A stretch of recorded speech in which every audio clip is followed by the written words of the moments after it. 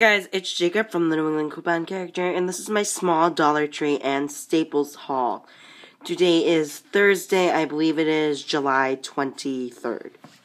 So I went to Dollar Tree and I just picked up the Bounty Basic um, paper towels. They're a dollar, and there's a 50 cent internet printable, um, which is pretty high value, so it makes this only 50 cents, and that's my stock up price, 50 cents a roll. And I just picked up some chips because I wanted some chips. And at Staples, I got this um, composition notebook. It was only 25 cents. I only got it because it was college ruled and I um, liked this color. Um, the Paper Mate Ink Joy pens.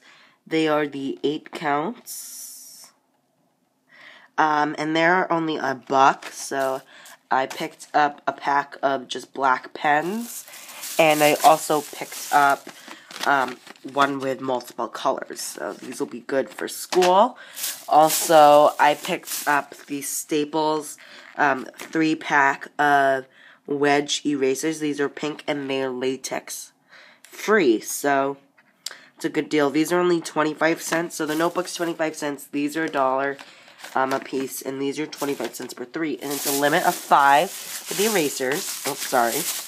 So I picked up five packs of erasers.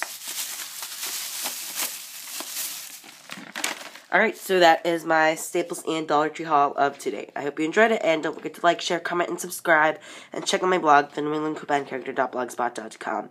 I'll see you in the next one, the New England Coupon Character. Bye-bye.